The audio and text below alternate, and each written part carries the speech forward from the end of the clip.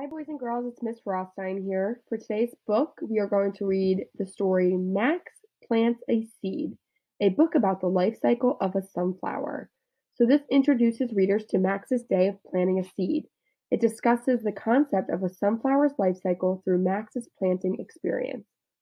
So, this week we are discussing different kinds of plants and how they grow and what they need to grow. So, I thought this was a great read aloud that is a nonfiction book about sunflower seeds. Today, Max plants a sunflower seed. How will it grow? Max plants the seed where it will get a lot of sunlight. He waters it. The seed soaks up water. Roots start to grow out of the seed. Then a stem grows out of the seed. This all happens underneath the soil. The stem comes out of the soil 11 days after Max plants it. The stem is tiny. The stem grows taller. It starts to grow leaves. A flower grows on the top. The flower makes hundreds of new seeds. Max collects the seeds. He will plant seeds again next year.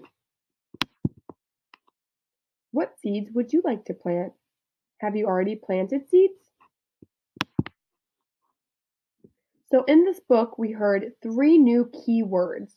We heard roots, which are a part of a plant that grows into the soil, and roots soak up water and feed the plant. We learned the word seed. A seed is something made by a plant a seed could grow into a new plant. And the last new word that we heard was stem. A stem is the main part of a plant, and it leaves and its leaves grow on a stem.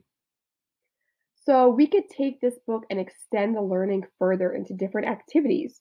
So think about these three questions and discuss them with your families. Number one, can you think of other plants that make seeds? And do all seeds look the same?